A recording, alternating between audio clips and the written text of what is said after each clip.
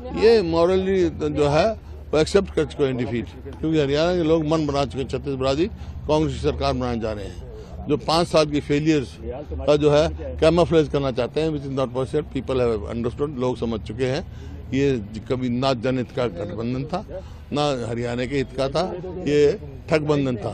Sir president rule की भी आपने मांग करी है सर? हाँ क्यों, क्यों, क्योंकि मॉरल अथॉरिटी खो चुके हैं ये। और प्रेसिडेंट रूल के अंडर चुनाव होने चाहिए। 在哪？在在在，